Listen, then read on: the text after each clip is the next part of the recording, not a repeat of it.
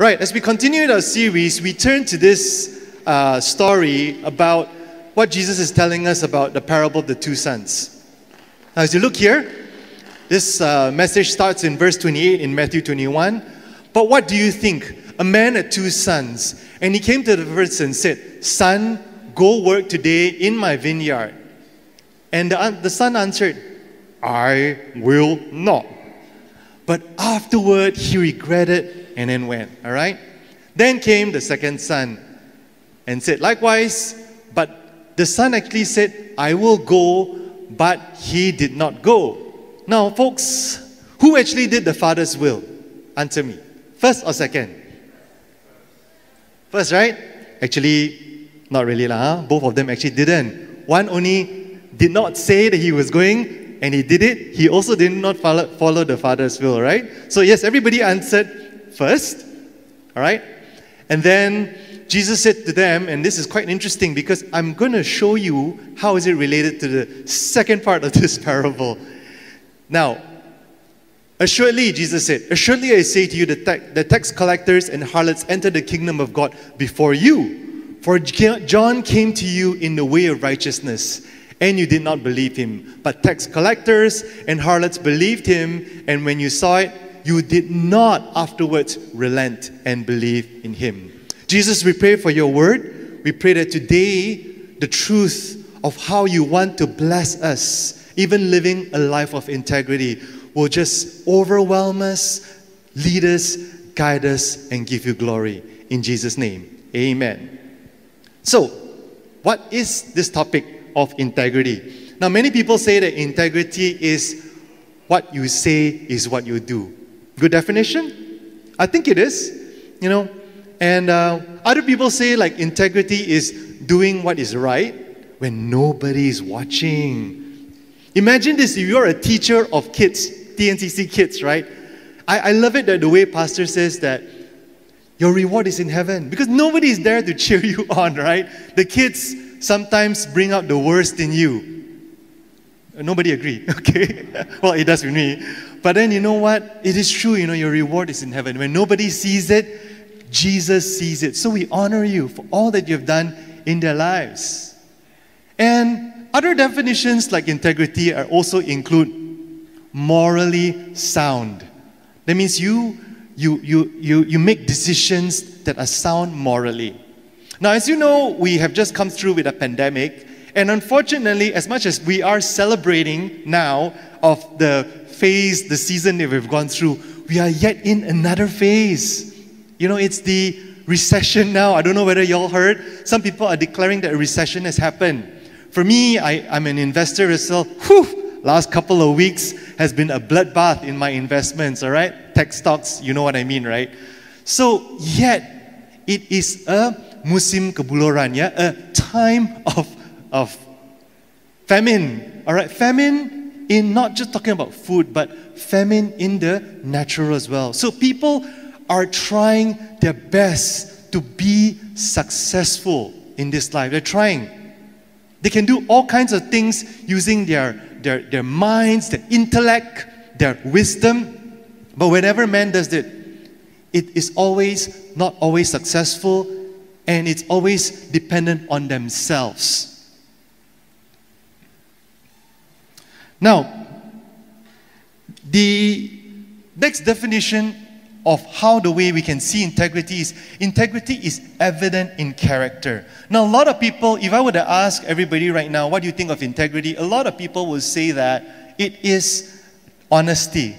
But, folks, it's, to me, I think integrity is more than that. It's a character that we all have.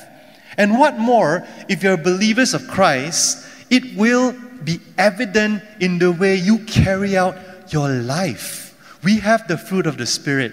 You know, love, joy, peace, patience, kindness, goodness, gentleness, self control, right?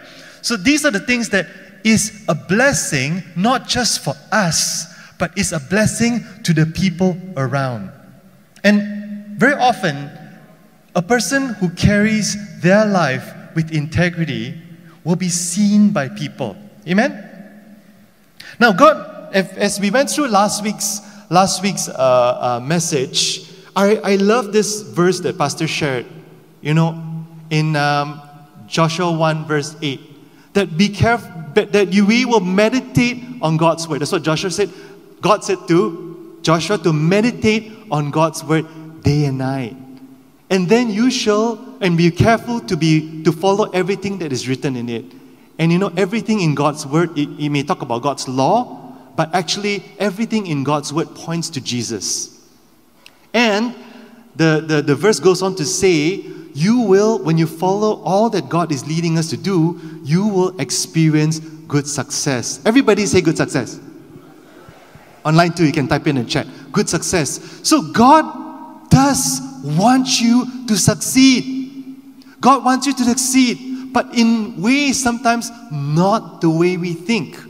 Now, as I mentioned earlier on, the world is trying so hard to, to, to experience the abundant life. The world's trying to.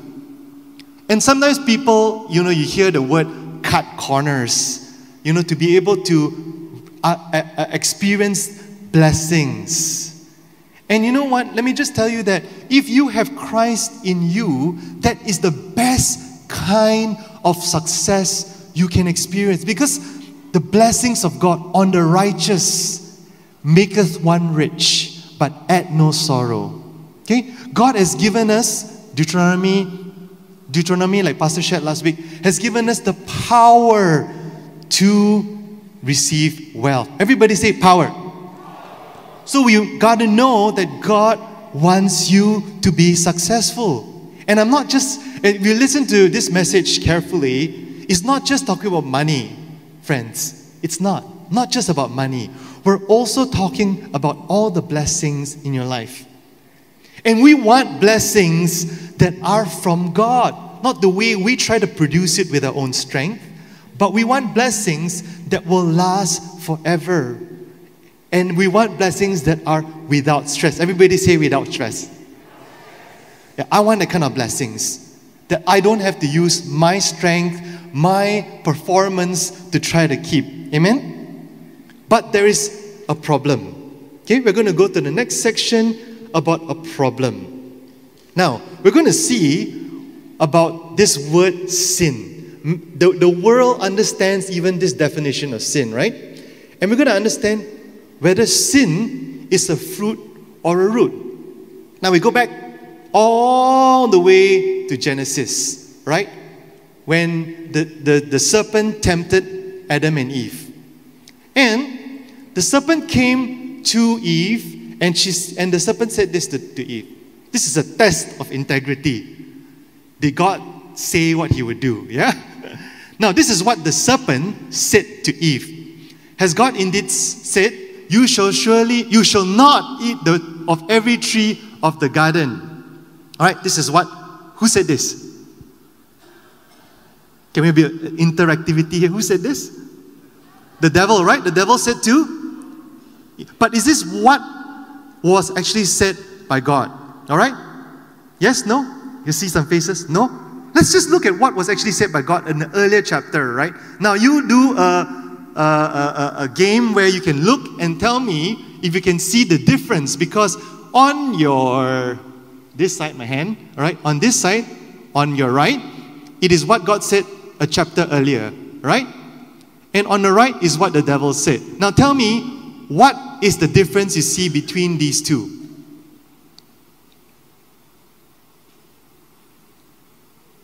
You can put it in the chat as well on YouTube, Facebook, where you're watching.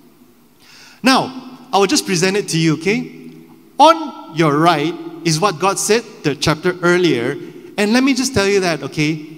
One thing that stands out to me in this verse is this word freely. Everybody say freely. Freely. What the devil said, make God look cheap. Okay? On, on, on, on your left he said, You shall not eat. You shall not. Sometimes with parents, right, you give so many commandments. Hey, don't do this, don't do that. Okay? I, I am trying my best also not to do that, especially when we tell people. We can also have positive reinforcement, right? Positive reinforcement is what God has done. He says, he, He's very generous because He says, You may freely eat Oh my, that is such generosity. all the abundance, but only one do not eat. Okay? And the devil wants to focus on the one. Right? God said, freely, everything, every tree, but one. One, do not eat from the knowledge of the good, the tree of the knowledge of the good and evil, you shall not eat, for in the day you eat, you in it, for oh, in the day you eat of it, you shall surely die. And what God was telling them is experiencing the spiritual death. Okay? And in this scenario, friends, I just want you to know that actually sin is only a fruit, it's not the root. You see, Adam, when, when it came to Adam and Eve, right, they did not believe God because they started to think in their minds, God is selfish. He doesn't want to give me everything. Right? He, he, even the devil lied to them and said that you will not surely die, for God knows that in that day you eat of it, your eyes will be open and you will be like God, knowing good from evil. And he thought to them, huh? Why does God not want me to do that? Why does God want to withhold His blessing to me? Is there something wrong that I have done? Am I not good enough? I thought He created this garden for me. I thought He created, He gave Jesus everything in this life for me to experience the abundant life. But no. See, the problem is this. All right, I submit to you. We get tempted. We cut corners. We sin because we start to doubt God's love for us. We start to think that we're, we're being lied to by the devil, and we, st- we start to think that, oh, you know what? God is selfish. He doesn't want me to be blessed. But you know what? We must understand this. God did not want them to eat from the tree of the knowledge of good and evil because they cannot handle the truth. Only God can have the tree of the knowledge of good and evil because He is judged, and He is judged because He is sinless. He is able to make the right decisions. He is sinless, He is just, but we are not. Okay, when we eat, we, we don't want to come under God, we just want to be God of our own lives. But when we sin, when we sin, we cannot handle the result of eating from the tree of the knowledge of good and evil. And that's what happened. Friends, they ate from it, and then they realized that, oh, their eyes were open then they start to see their nakedness. All along, God's glory had protected them, covered them. But then they start to see each other's sin. All right? Friends, that is the way the world has struggled all this while because they have been lied to. The lie is that God does not love me enough. And my submission to you is this we cut corners, we lie we cheat, we hurt other people. Why?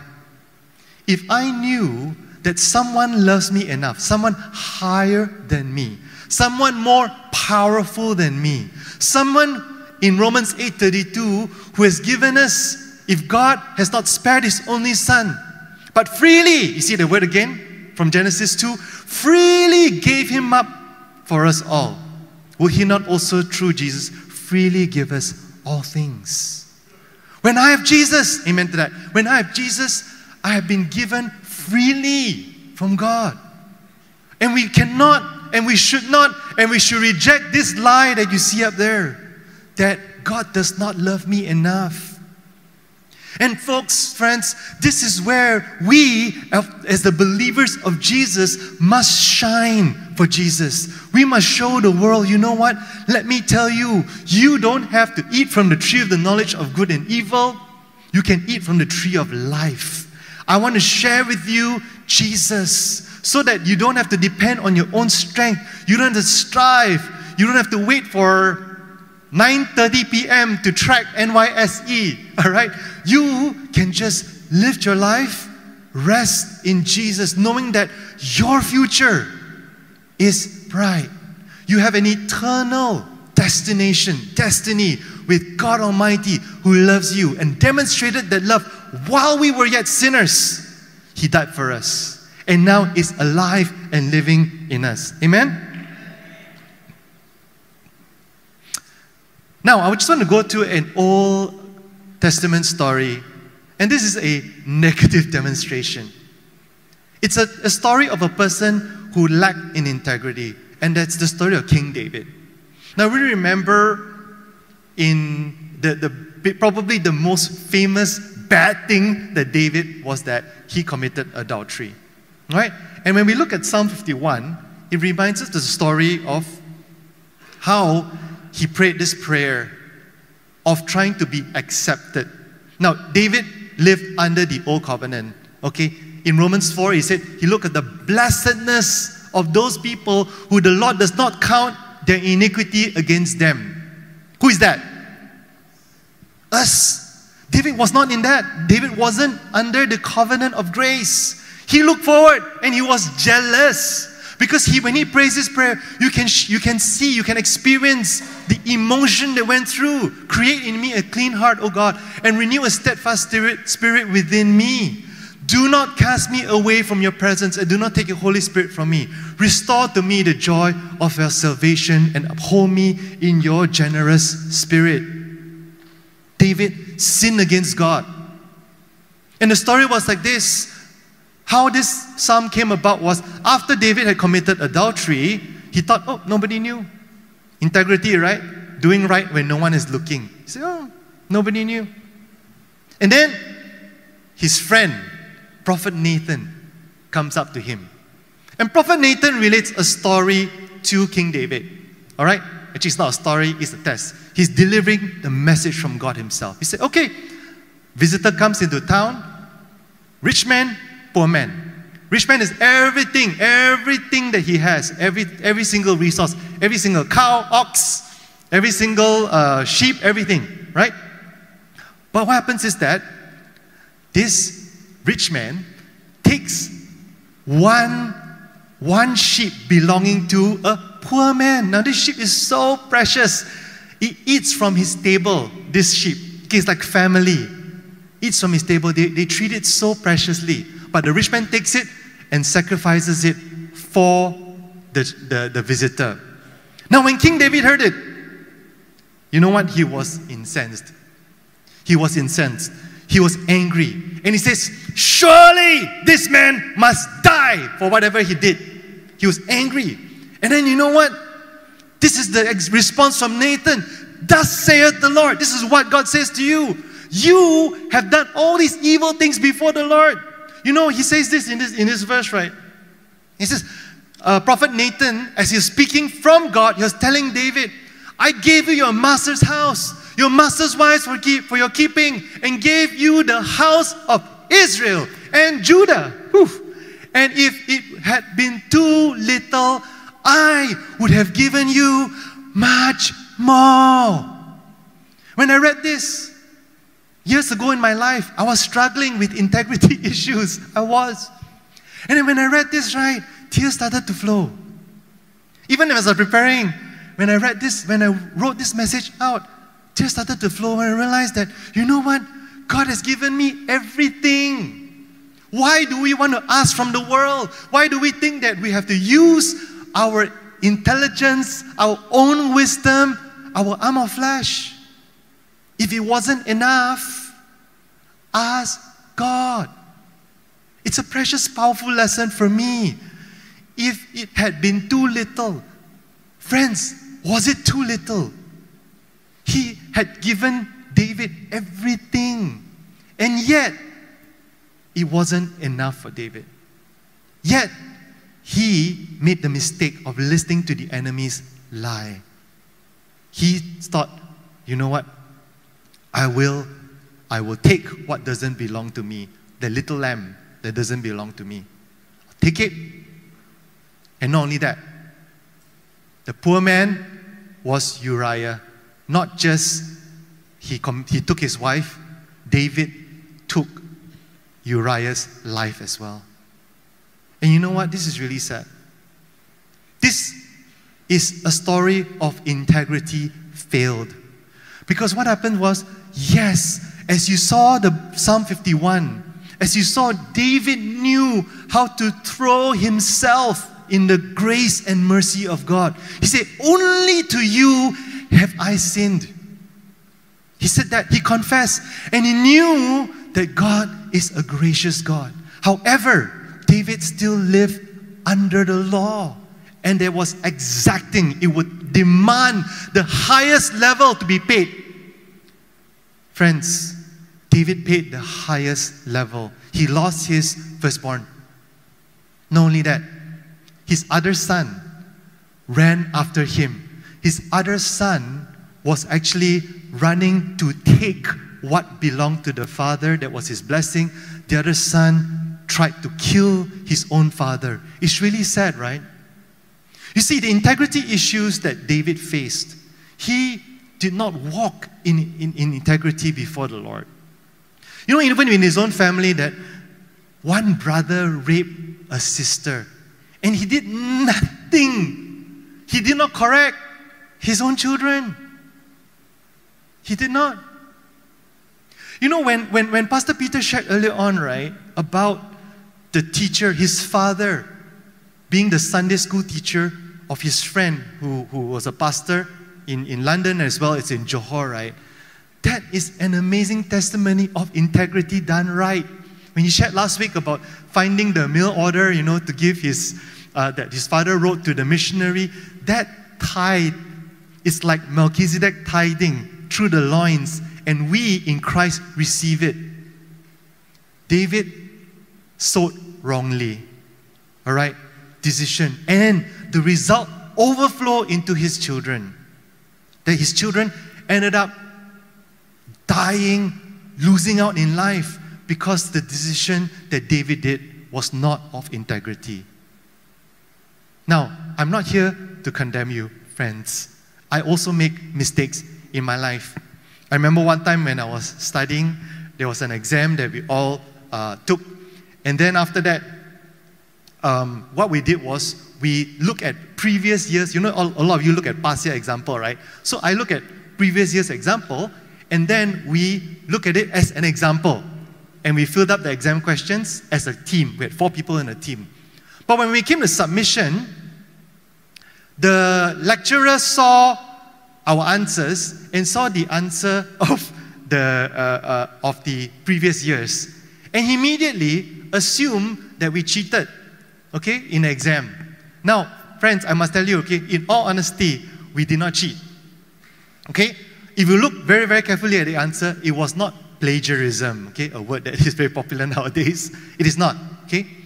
But when he asked the four of us, Did you cheat? We all got together and say, Hey, eh, how? Did we cheat or not? All four of us unanimously say, We did not cheat. We did not copy and paste. Okay, no plagiarism.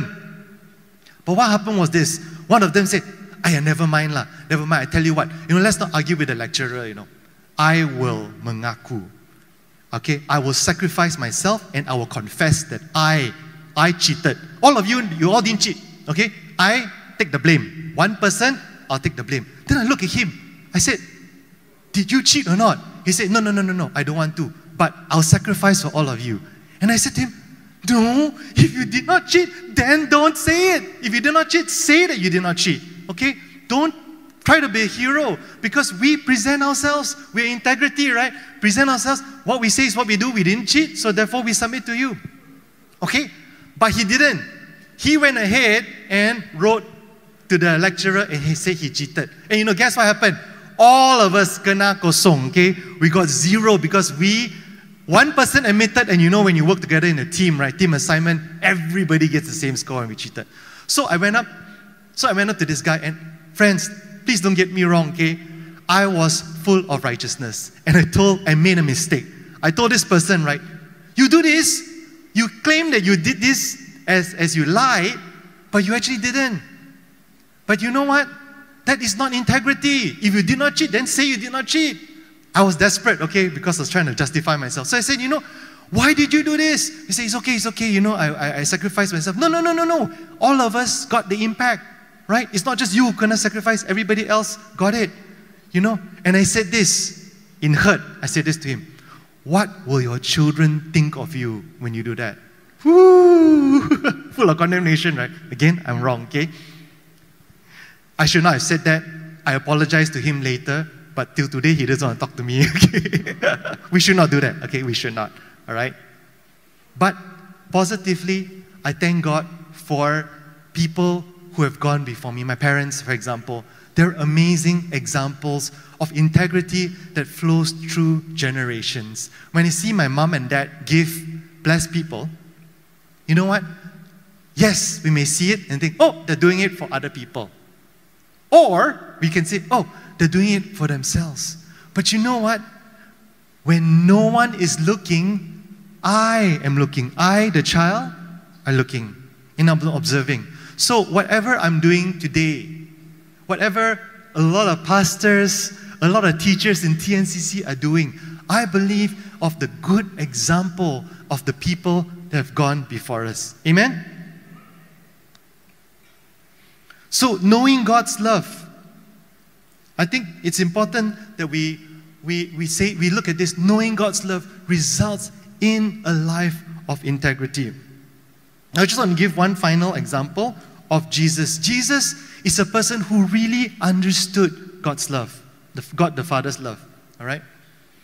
You know, when he's in the Garden of Gethsemane, he looked at the cup. And he says that God, Father, if it's possible, let this cup be taken away from me. And this can be juxtaposed to the story that we heard earlier on about the two sons, right? He could actually say, Yes, I will go, I'll die on a cross. But when it came to the actual act, Jesus could have, could have said, Not your will, but mine be done. He could have said that, right? And you know what?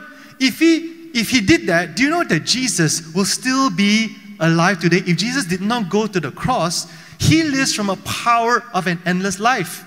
Today, he would be physical. All right, if you want to see Jesus, you can see Jesus physically, okay? Get on a plane, fly to Israel, go up to his house, and line up together with another few million people just to see Jesus. That is if he did not die on a cross. But you know what? Everybody would be lost. Everybody would be lost because there is no perfect sacrifice. Nothing, the only way to pay for sins, for our sins, is that blood is shed. Now, God didn't want a temporal sacrifice of the blood of bulls and goats. He wanted one sacrifice forever. And that required Jesus to give it all. And what did he do? He looked into the cup Jesus in the Garden of Gethsemane looked into the cup of bitterness and he saw every single face, every single person online, every single person that I'm looking at in this hall, in this auditorium. And he looked at it and with so much love, he did not want to be separated. He did not want to have eternal separation. So he stood up for integrity. He walked the talk. He said, Not my will, but yours be done. How many of us are so grateful that He walked the talk? He went all the way. He walked to the cross of Calvary and He did not just shed one drop of blood, He poured it all for the whole world to see. This is how much I love you. And when you notice how much Jesus loves you, it will flow in and through you. I want to be filled every day till overflowing. My cup runs over. The cup of His love. And when I know that He loves me so much, you know what, friends? I know that God will provide for me. I can live a life of integrity that points and honors our Lord because I know that my God yesterday in a worship group, you know, Jonathan shared the, the, this verse, Philippians 4.19, and my God, with such confidence, my God shall supply all my needs according to his riches in glory in Christ Jesus. I want that kind of, I want the kind of blessing. I want the kind of source. I don't want the source of a rich man. I don't want the source of my own intellect, my own wisdom. No, I want the source to come straight from God because no man can touch it, no man can take it away. Amen? Now, when we look at what was said in the parable,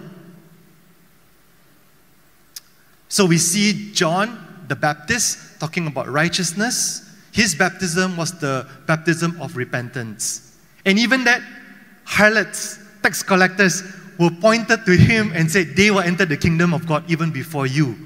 Who is you? Oh, what was Jesus? Who was Jesus talking to? He was talking to the Pharisees. Okay? Even John the Baptist baptism tak boleh pakai, right? He was actually pointing them all to a sense of knowing and end to themselves, the Pharisees who trusted in their own flesh. He's pointing it to himself. Because Jesus was actually trying to show them and show us today that we have his righteousness if we receive him.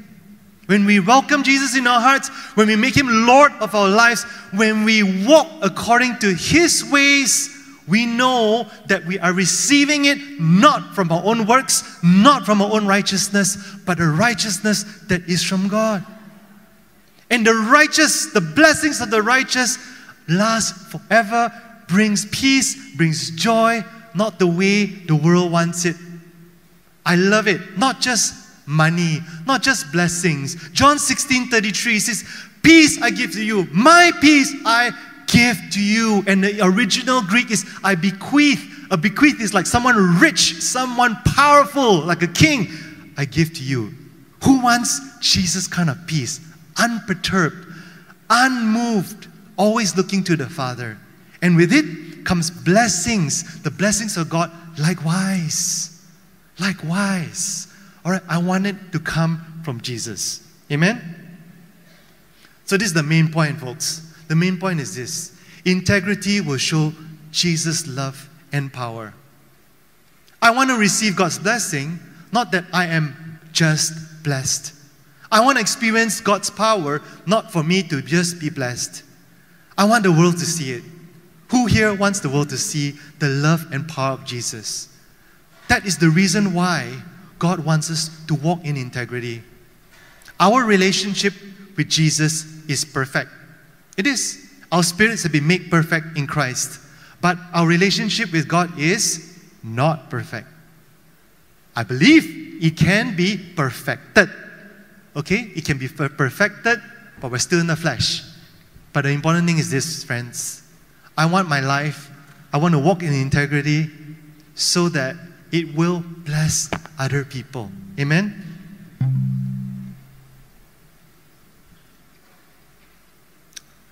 I just want to share with you one last thing. Joseph's story. Joseph did not live under law. And you see this verse, right? The, his master saw. His master, not a Christian, not a believer, saw that the Lord was with him, and the Lord made all that he did prosper in his hands. Church, will you rise with me? Would you just rise with me?